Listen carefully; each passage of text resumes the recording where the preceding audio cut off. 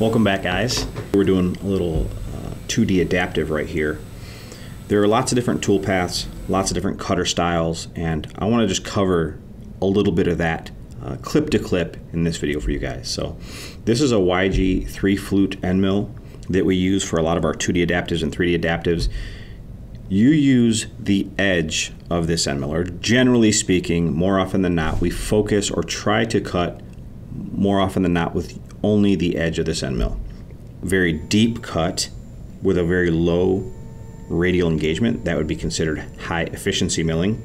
Now, the opposite of that is a very wide cut, but a very shallow cut, and that would be high feed milling. And this is a little Dijet cutter, and I absolutely adore this tool.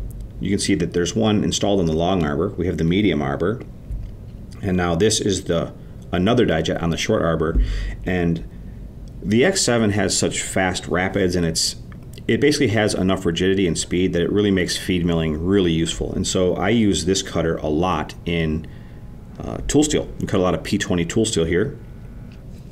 And it's really cost effective too because it's got three inserts and each, each insert has two cutting edges. And some feed mills even have more. This is my Kyocera uh, Mini Raptor or Micro Raptor. I can't remember. I think this is a Mini Raptor. And it's, uh, it's a feed mill that I bought for the super mini mill that we once had. And what's nice is this doesn't put a lot of lateral load on the spindle. It forces the it puts the cutting forces up vertically through the axis of the tool. I've got this little uh, digital microscope I bought off Amazon for like 99 bucks, and I would encourage you to get one if you're going to do a lot of cutting, especially if you have inserted tools or if you want to be able to evaluate your tools. You can see we've got a little chip scarring on this Dijet. But a lot of times, people ask always, a lot of people ask, you know, which toolpath should I use? And there are just so many factors. Are you trying to maximize material removal rates? Do you have reach issues, in which case you need to use something like this Dijet? Do you have, does your machine have a lot of spindle torque? Does it have a lot of rigidity? There, there are just, there are so many factors that compete uh, for your ability to make good decisions that it's, it's, it can be a real challenge. So I'm a big fan of the Dijet mill. I use it a lot. In fact, we use it here in this video shortly to cut a mold base. And so I'll show you that in just a few minutes. Right now, this is actually a finishing. This is a 2D contour tool path that we're actually using to finish the bottom side of our vise fixture. And the reason I didn't do this all in one pass is because there wasn't enough flute on the end mill to take the entire depth of cut. So uh, it's cutting about, I want to say about 600 thousandths deep, and then we're going to go all the way to the bottom, and we're going to make this final pass. And you can see it's nice and clean. From here, I believe we're going to lead into a little bit of actually adaptive roughing. So we'll, we'll let this finish up, and then we'll talk about that when we get there.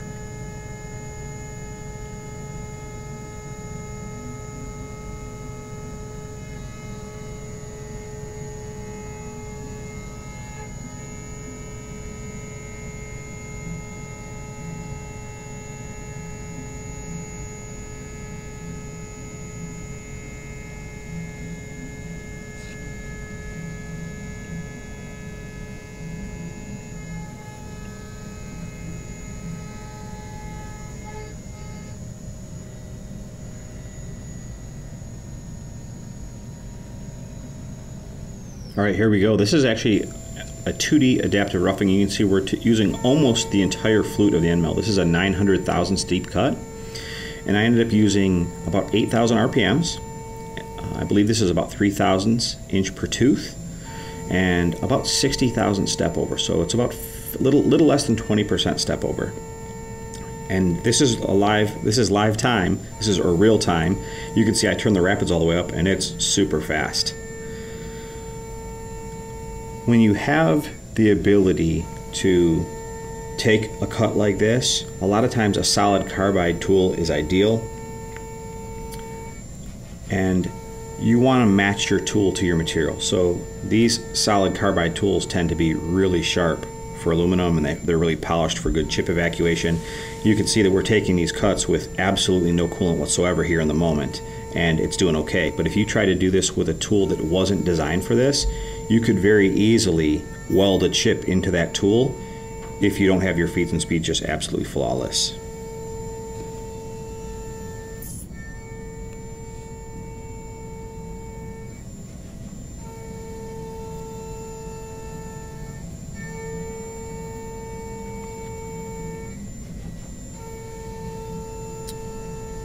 You can hear it squeals a little bit as it starts to get a little bit thinner.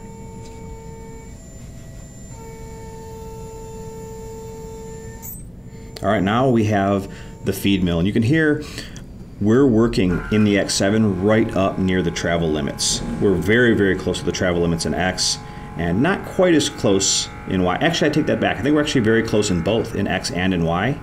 And you can hear that when this thing gets, when it plunges down, it's actually nipping the material. That's because we're so close to the limits that there's really nothing I could do. And I played around with the feeds and speeds, and you can hear when it's in the cut, it's actually really clean. But when it, right when it enters, it kind of nips it a little bit.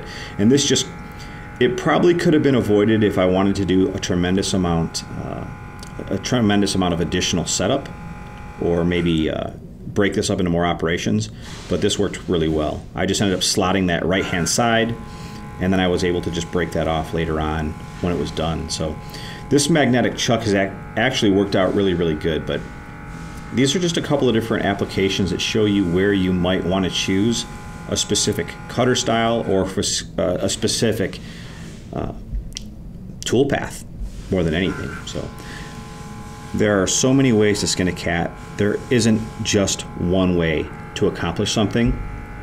And a lot of times it's learning what your machine will tolerate or or what you have access to. So hope you guys enjoyed this video as much as I enjoyed making it and we'll see you guys in the next one. Bye-bye.